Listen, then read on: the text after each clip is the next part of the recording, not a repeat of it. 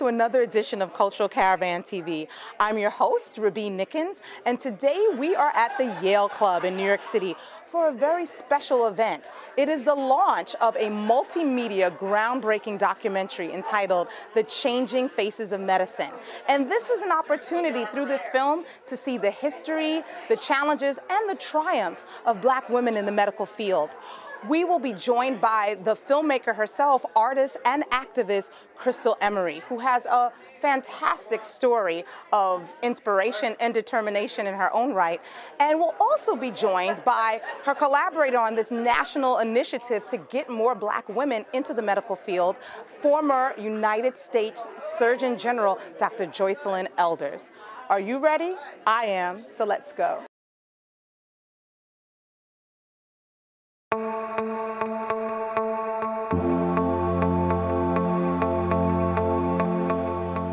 My mom was doing my hair, we were watching TV, and I don't remember what was on TV, but somehow the subject came up of, you know, what do you want to be when you grow up?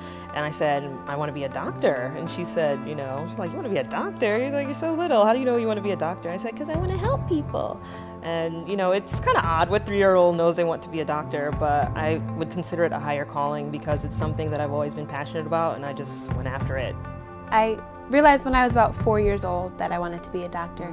And it was something that I pretty much knew I could do. It wasn't anything that I thought was unattainable. I said I wanted to be a doctor, just I just said it. And they supported it. And I started high school, and I kept on saying it. And I kept on doing programs, and it just, you know, it fell into place. I had been sewing since I can remember. My mother was a seamstress, and she taught me to sew very well. So I knew I could stitch up a body better than some man who learned it last week. And I decided I would be a surgeon. I can't think of anything else I would like. So by 12, I decided I wanted to become a doctor. I grew up in the era where you could either be a doctor, a lawyer, or anything else. and my father was a physician. So doctor was always high on the list. Um, and cardiac surgery is really the most fun that you can have legally in the United States. I think I knew when I was a sophomore in college. I had never seen a doctor before I went to college. And you can't be what you can't see. Black women have a traditional history and responsibility for healing. Black women were the primary caregivers in many of the slave communities. I often go around and I speak to young people and I mentor a lot of people and I like to mentor people and let them know I try to be very open with my life and I let them know that I grew up in the projects of a single family home. My, my mother raised us, um, five girls alone. Um, I got pregnant at 16. Um, I, you know, then had four more children before getting married. So I had five children when I got married. I was everything people say you're not supposed to be. You know, I'm every stereotype. I was not supposed to make it.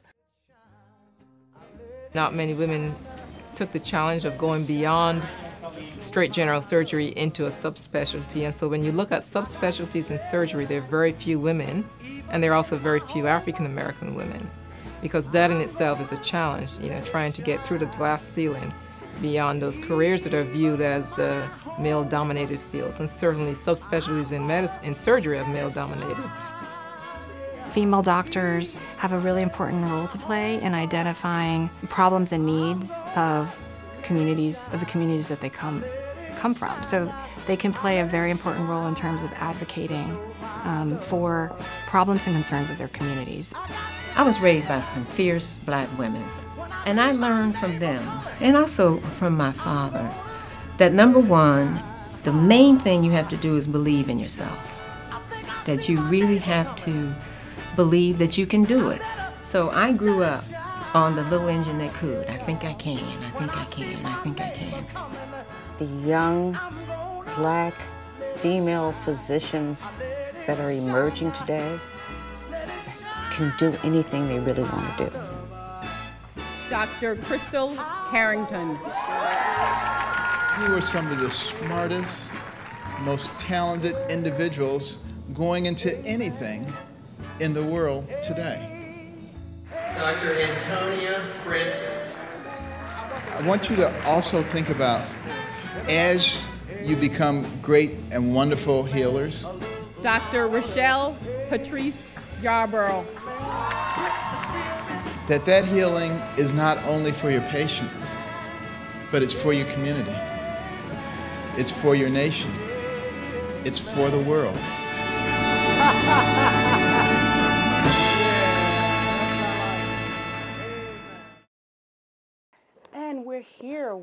producer, director, artist, filmmaker, and activist Crystal Emery. Uh, Miss Emery, thank you so much for joining us here at Cultural Caravan TV. Thank you for having me. Thank you. Um, what inspired you to to produce the Changing Faces of Medicine? Uh, the triumph of the human spirit. I met these wonderful women uh, that I was asked to interview, and I just thought their story was everything that encourages you to be a success, and that we don't ever see the story of courageous, you know, educated black women without there being a downside to that. And so I wanted to share their story. Mm. So on we went with this journey. Mm, mm. And here we are five years later, about to be released on American public television. Yes, yes. And I know that this is part of like an ongoing tour for the, the, the film, but up until this point, what has been the reaction to the film for the audiences that, that have seen it thus far? I think across the country it's been great. You know, whether it's an interracial audience, whether it's an all black um, urban community audience, whether it's higher education, uh, medical schools, um, it's needed. You know, we need to find a safe space to talk about these issues in a way that isn't harmful, but opens people to a different way to look at themselves. And so this offers that opportunity. Yes, getting getting our stories out there told, uh, which is often difficult to do. Um, we were talking before we started the interview about some of the statistics about um, Black women in education and being one of the most educated groups in the country. Yet there's this disparity, uh, as you found in the film, about the amount of Black women doctors. So, what are some of the the reasons that surfaced for that um, in the film? Well, I, I would dear that statistic and not knowing where it came from. Um, I don't think that we are the most educated minorities because education has been extremely difficult for blacks in America. And then you have to, that word minority is a very interesting word um, because you're not saying black American. Um, minority encompasses a lot of different types. Um, but some of the problems, and particularly with black women, are the same problems that all women face. You know, white women still receive less than a white man uh, for their work, and black women receive less than a white woman. And so you're dealing with sexism, you're dealing with racism, you're dealing with economics, you're also dealing where they were educated. You know, you are more likely to get a better job if you have a PhD from Yale than from Phoenix University. Mm. So all of those um, come together to create the dilemma that we're in today.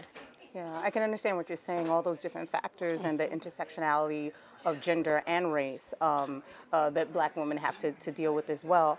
Um, but you yourself, as, a, as an African American female, have probably had to deal with a lot of some, uh, some of the similar uh, um, challenges that they have faced as well. But at the same time, you put this film out uh, thinking about all the things that you've done in terms of uh, the other films, the books that you've written. Um, you're truly a role model and an, an inspiration for a lot of people in terms of just your vision, your determination. Um, I was really struck by a quote that you that you had said. You said, "I am not and cannot be defined by other people's limitations." Can you expand for, on that for our audience? Like, what what made you say that? Like, what in your experiences? you know, and made, made that something that you had to say and believe? You know, I grew up in what is called a housing project. Mm. And yet, Brookside, I thought I grew up in a condominium. on a nature preserve, hmm. right? Because it was very beautiful where I grew up. Okay. And the projects were very beautiful. And I lived on a dead end street. So we knew everybody. It was also interracial. So I did not grow up with normal boundaries of white, black, yellow. I grew up in a community, a real community, where Mr. Polanski came home, or Mrs. Reynolds, or whoever it was. And so it wasn't until later that somebody told me I was poor and black. And I, they said, You live in the projects. And I was like, What is your problem? I don't live in the projects, I live in Brookside. I learned by 10 that other people would define you through their kaleidoscope. And I wasn't going to allow what you thought about who I should be or what I should be. And it would be later that that foundation would serve me well. Now that I'm in a wheelchair, when I walk into a room, people, I mean, I have a husband, and I walk into a room, they call him my son, even though he's eight years older than me. They call him the home health aide, you know, anything but husband. So when people see me, they see black woman, wild hair, wheelchair, and they bring to the table a set of, of prejudices. Um, and I'm not going to let anybody define my capableness by their limitations. Mm. I just am not. Mm, mm. I don't come from people like that. It sounds like you were really blessed with a strong background, a strong family base, um, even a strong community base. Um, would you say that that's the main place where you draw your strength to be able to do this? Because there's so many people, especially in our audience, that have faced the same sort of misperceptions, um, whether it's in regards to their appearance or what. Uh, your your twists are everything, by the way. I don't know what they're talking about, but anyway. but, but I mean, so so somebody might be looking at this and say like, oh, that sounds great, but like, how can I do that? Like, what can I do to try to overcome other people's perceptions when there's it's so daunting? My grandmother believed in God, and God is a personal experience. Now, what I've come to learn is when you believe in something bigger than yourself, all that other crap is very little. Hmm. That there's a power greater than I. Do I know what that power really is? No. But what I do know is that the only person that I can be responsible for is me and my behavior. Mm. And that if I do the best that I could do, and that's why I love Dr. Elders. You know, she always says, honey, if you did the best you could do today and you did it with the right heart, you're good. Mm. And, you know, you have to believe in that inner teacher. You know, so many times we go to do something and something tells us, don't do that. And even today, I turned down 46th Street because GPS said turn down 46. And I knew better. I knew better. Right. Then it took 40 minutes. You have an inner teacher. Mm -hmm. We all possess that. I used to say to my grandmother, Could you talk to God for me? And she would say, Sweetie, everybody has that phone number. And I would say, Yeah, Nana, but some people don't know how to dial it. we do know how to dial it. And it is that saving grace that at the beginning of the day and the end of the day, you know, makes my understanding of the world greater than this moment, greater than this city, greater than our country. Um, and I'm part of that. So, all that other stuff, listen, if you want to dislike me because I'm black or overweight or whatever, you know what? That's on you. Mm. That is on you. But I'm not going to let your insecurities define who I am. Mm. And I get to choose that. Mm, That's my power. And it's good. It's good. And I, and I actually think the opposite is going to happen when people see this film. They're going to love you for what you've presented and brought to the fore. Um, just what would you like uh, for the impact to be of this film on future generations? I mean, so much of what you shared had to do with uh, wisdom passed down from other generations in your family to you. What would you like the impact of this work, uh, Changing Faces of Medicine, to be on future generations? Well, you know what? It works like this. We are capturing history. We're also creating history. Mm. And we want to propel it to the future. It's multidimensional. When we are at medical schools, we are touching the hearts and the minds of admission officers and deans to see people, black people, in a different way. When we are in the community, we are touching parents and children. When I bring the doctors to a screening, many kids tell us, last night in Chicago, I've never seen a black doctor before. Wow. Okay? You can't be what you can't see. Mm. And so we encourage the child to dream big. We encourage the parent, regardless of your circumstances, don't put those limitations on your children. Mm. And we encourage the educational or mainstream America that change is here. And you can either join it or step aside because we, we are here. We have arrived. So. Well, on that note, those powerful words, Miss Crystal Emery, thank you so much for your contributions and thank you for sharing yourself with our viewers in Cultural Caravan TV. Thank you so much. Namaskar. Yes. Thank you. Yes, we are joined by scholar, inspiration, Dr. Joycelyn Elders. Welcome to Cultural Caravan TV. Oh, it's a pleasure to be here. Thank you so much. Um, Dr. Elders, you have been an inspiration and a role model as the first African American United States Surgeon General. Uh, what was your inspiration for entering the medical field? You know, I had never seen, even seen a doctor, or even knew about doctors until I, my, I was a freshman in college. And at that time, I met a Dr. Edith Irby Jones, okay. who was the first black student to attend the University of Arkansas. And she was, I thought she was the most beautiful woman I'd ever seen. And, and she was so charming.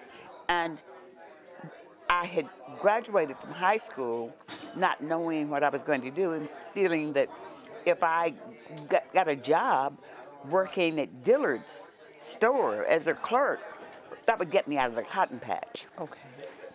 And I, it, since I never seen a doctor, we had we didn't have any running water, we didn't have lights, we didn't have indoor privy, so I couldn't see anybody on TV. Mm. So you kept, didn't hear them on radio, and you can't be what you can't see.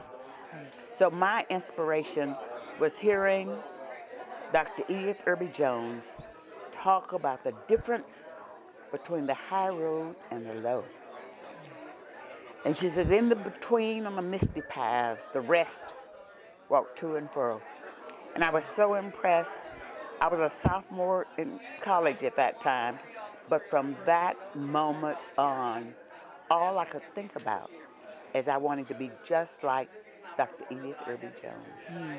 All it took was that one person for you to actually see uh, just like what you said, you can't be what you can't see, and look at the, the, the career that it set you on and the path um, to, to attain the, the, the, the position of attorney uh, of a surgeon general. Yes. Um, because you yourself um, are somebody that represents something that we can see, somebody could say that in and of itself was your contribution, yet you chose to be a part of this film, The Changing Face of Medicine. What inspired you to actually embark on this collaboration with uh, Crystal Emery, the filmmaker?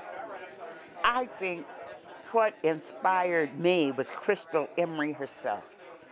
I feel that it First of all, I feel that the fact that she was putting together this important historical uh, da- data on black women in medicine and talking about changing the face of medicine. That really inspired me because it was not cataloged any place. Right. But the second was the fact that if someone with Crystal's disability could work as hard as she's worked to pull us all together and put this film together, I was totally motivated to do whatever I could to make it a success. I wanted it to be a success because I felt that our young people needed it. But more than that, I was impressed and moved by her. Mm. And, and there's so much that your work as an advocate and Crystal Emery's work as a filmmaker is doing. Uh, I, I, come back to that whole you can't be what you can't see. Um, and we're seeing you and we're seeing Crystal Emery um, doing these things to make those stories told. Uh, what can we do as a community who, if you're not a filmmaker or you're not a prestigious doctor yeah, such as yourself, what can we do um, to inspire more African Americans in general and, and females in particular to enter the medical profession? Well, I think that the fact that you're talking to Emery, talking to me, and encourage talking to other women doctors and putting it out before the public, that's how we learn. I feel that you, as a journalist or you know, as a really trans- can help transform how we think mm. and how we see ourselves. And the more you put that out before us, the more we be- will begin to feel good about ourselves and begin to feel that we can climb to the top of the ladder and make sure when you get up there that you send it back down for the people at the bottom so they can make it. And that to me is wh- what you can do is always, you know, when you find po- positive stories about some young person who's out there doing something, to talk about what they can do and encourage them. Because I didn't know I could be a doctor. It never even occurred to me in my wildest dreams. I had never even seen a doctor. So how could I plan on being a doctor? And when you see so many young people, they've been planning to be a doctor all their lives. But because of people like yourself now, well, in and, uh, Crystal Emery, um, yes. you know, when you think about, I have I'm the oldest of eight I have eight siblings, or seven siblings, and myself. There are eight of us. Okay. And I'm the oldest. And my brother often says, but I never even thought much of it. He often says, he says, you know, he says, it's because you got out there and blazed the trail mm. so we could follow.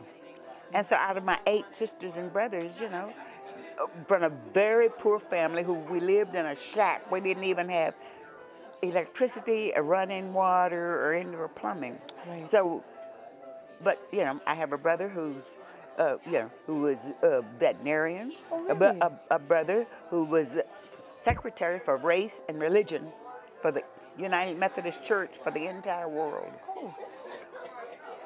And so sure we didn't know any of these things. Well, well, but and then, uh, you know, and I have a sister who was on the faculty. She was a linguist at Howard University, mm-hmm. and I have another brother who was who's a, a, mechanic. He's an engineer of sorts, and he helped build race these super race cars. Mm-hmm. So, and then my bro- my brother, who's I'm most proud of, he really didn't read very well. Okay. And he worked for General Motors for 53 years. And in 53 years, he missed three days of work. Amazing. That to me was just absolutely amazing. It was. And, and so, I, so I'm really very proud of the, you, you know, of the, the things they've done. And as I said, and my sister, who I feel I'm talking about my family, but my sister, whom whom I thought was the smartest of all of us. You, you know, if you just well, well, you know, uh, she ended up being a teenage mom, okay. and she had four children, but she worked for Ford for 30, 40 years. Right. But but now she, she had a stroke two years ago. And so we've been encouraging her, my brother and I. But you know, she has just designed so many little tips that would make a difference for handi- people that are handicapped. Yes. And and, and I, we've been insisting that she write. Was we said, well, just write it down. Just put it down. We'll write it up. We'll get mm-hmm. it right. But but yeah, she is just so smart. And thank you for joining us for another edition of Cultural Caravan TV. As always, we encourage you to call, write, and tell a friend. Hit us up on our website at www.ccptv.org or also tweet us on Twitter. Take care.